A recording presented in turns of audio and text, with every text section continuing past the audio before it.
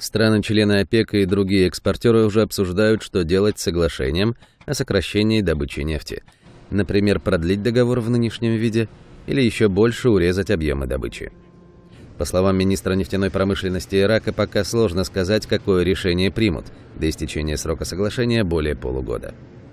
ОПЕК и другие экспортеры, включая Россию, договорились урезать добычу на 1,8 миллиона баррелей в день до конца марта 2018 года их цель – сократить запасы сырья, а также стимулировать рост цен.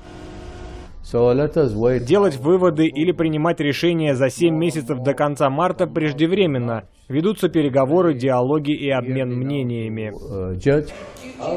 Выступая на энергетической конференции в Объединенных Арабских Эмиратах, Аль-Лаиби сказал, что вариантов много – Некоторые экспортеры нефти предлагают продлить соглашение на 3-4 месяца, другие хотят продления до конца 2018 -го, а некоторые, включая Эквадор и Ирак, предлагают еще больше урезать добычу.